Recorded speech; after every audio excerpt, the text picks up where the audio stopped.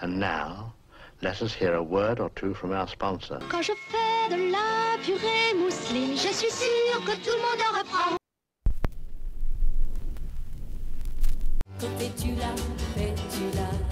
Bon, Tonight for Sure.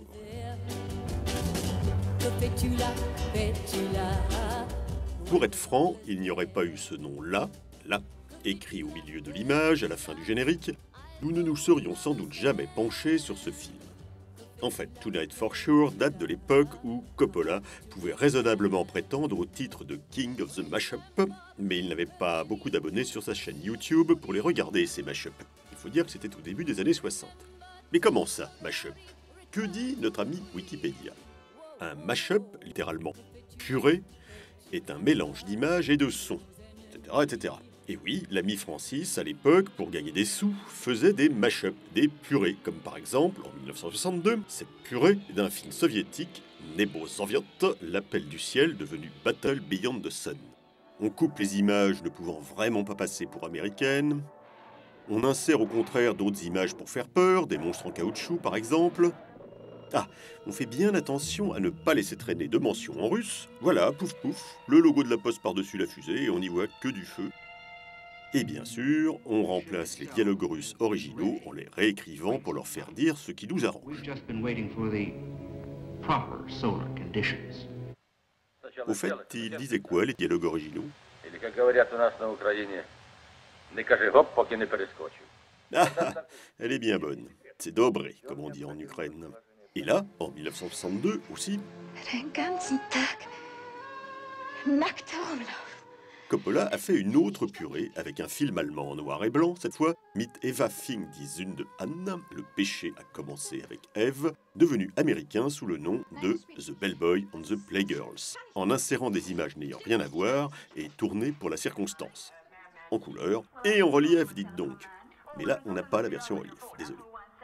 L'essentiel étant de mettre à l'écran la nommée June Wilkinson, qui a servi d'argument publicitaire principal pour toutes les bonnes raisons qu'on peut imaginer. Ah, 1962, décidément, c'est son année purée à Francis, puisque c'est l'année de Tonight for Sure, nous y voilà. Mais là, pour faire sa purée, il n'a pas eu besoin de s'aventurer vers l'Est, chez les Russes ou les Allemands. Il est resté 100% américain et n'a pas cherché très loin la moitié de la matière de son film, puisque c'est l'un de ses propres courts-métrages d'étudiants qu'il a auto-machupé, The Peeper, le voyeur. L'histoire d'un type qui essaie par tous les moyens de voir des filles se déshabiller. Pas bête comme sujet. Et évidemment, le type n'y arrive pas et c'est, euh, on va dire, rigolo. Et les filles se déshabillent quand même, et au fond, c'est tout ce qui était recherché. Et Coppola, tout ça pour gagner 500 dollars, a mélangé son The Peeper avec un western nudiste fauché, trouvé au fond de la cave, intitulé Wide Open Spaces. Réalisé peu avant par le détenteur, selon le Guinness Book, du record de célérité au tir à balles réel, qui dégainait en 0,4 secondes, un certain Jerry Schaffer. Mais cela n'avait pas empêché son western nudiste et fauché de peiner à trouver preneur, tellement il était bon. Et son sujet était du reste tout aussi formidable que celui de The Peeper, puisque ça parlait d'un cow-boy qui a pris un coup sur la tête, et depuis il voit des filles nues partout, au casino, dans le désert, dans le lac, même que toutes les demoiselles étaient censées être ravies, mais comme en réalité l'eau était plutôt froide, non, elles n'étaient pas ravies.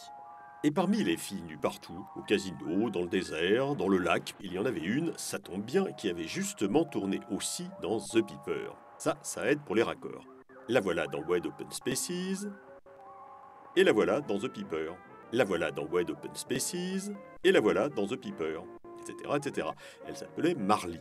Marley Renfro. Elle pratiquait assidûment le naturisme, elle avait été bunny chez Playboy, et on la voyait par-ci par-là dans les magazines culturels de l'époque.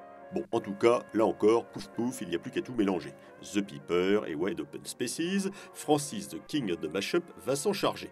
D'autant que cela semble ne pas lui déplaire d'avoir une bonne raison de tourner quelques plans complémentaires avec Marley. Si, si, Marley, ce plan sera vraiment utile, alors rendez-vous ce soir pour le tournage. D'accord, Francis. Et tout ça va donner Tonight for Sure, connu en Belgique sous le titre de L'Ouest sauvage et nu, et au Japon sous le titre de. Ugetsu Monogatari, disons.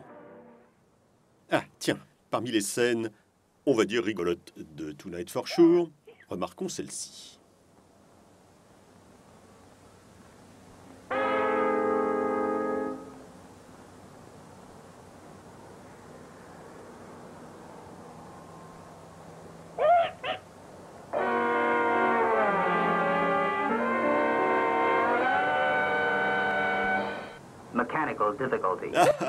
elle est bien bonne.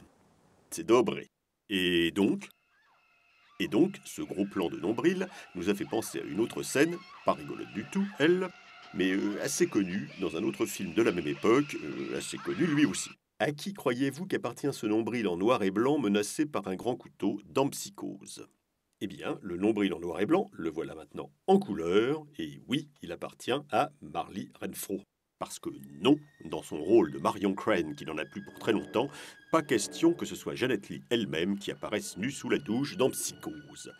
D'accord pour les mains, d'accord pour le visage, et à condition que l'eau soit chaude, hein. On n'est pas dans un western nudiste fauché. Mais le reste, non. Comme par souci de réalisme, Alfred Hitchcock s'est dit qu'en général, on se déshabille quand on prend sa douche, même si on est une star à Hollywood, il a bien fallu faire quelque chose. Et par conséquent, Marley Renfro a été appelée à la rescousse pour nous faire une Marion Crane sous la douche plus vraie que nature, comme si c'était la véritable Janet Lee. Tout ça pour gagner 500 dollars, elle aussi. On dirait que tout était à 500 dollars à l'époque à Hollywood. Les douches, les purées, euh, et voilà. Et Marley s'y est consciencieusement collée jusqu'au bout, puisque c'est aussi elle que traîne Norman Bates, enveloppée dans le rideau de douche avant de la balancer à la baille. Ah, mais de l'autre côté du rideau, avec le grand couteau, ce n'était pas Norman Bates non plus, ni sa maman, ni même Anthony Perkins en fait, mais c'était sa doublure, habillée en Maman Bates, une nommée Margot Epper. Et impossible de trouver une photo de cette Margot Epper, ça n'a pas été faute de chercher. Et pour tout simplifier, Margot Epper était elle-même la doublure de la doublure de Anthony Perkins. Mais elle, on l'a trouvée.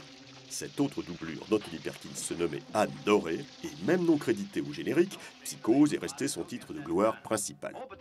Mais nous direz-vous, euh, pourquoi ces images du fils de Visage Pâle, film de Frank Tashlin avec Bob Hope et Bob Hope? Eh bien parce que c'est l'une des très rares occasions de voir Anne Doré en vrai. Attention, attention, la voilà et on constate qu'elle ne ressemble pas du tout à Anthony Perkins. Mais au fond, Marley Renfro ne ressemblait pas non plus tant que ça à Janet Lee, encore que un peu plus quand même. Et d'ailleurs, Marley n'était pas non plus la seule doublure de Janet Lee dans Psychose, il y en avait une autre, nommée Myra Davis. Et on peut d'ailleurs dire que Marley l'a échappé belle, puisque cette Myra Davis a été assassinée en 1988. Et on a longtemps cru que c'était Marley qui était morte à la place de Myra. Mais non, il y avait eu Gloubi-Goulba sur l'identification des doublures, et du coup, Marley est bien vivante à ce jour, et elle ne se fait pas prier pour raconter son histoire. And at the time, you could not show a belly button on film. D'ailleurs, un livre entier à sa gloire est sorti récemment, traduit en français sous le titre La fille derrière le rideau de douche. Et grâce à cela, Marley passe maintenant le plus clair de son temps à courir les conventions en signant des autographes.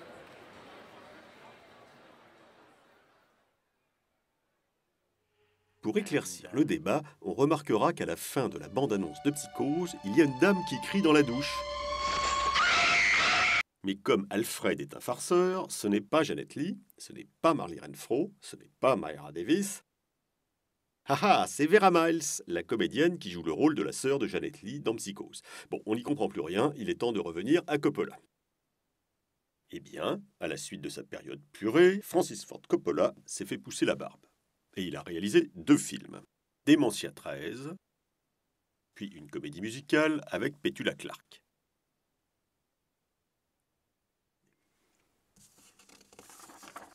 Ah, et puis il a encore fait d'autres films après.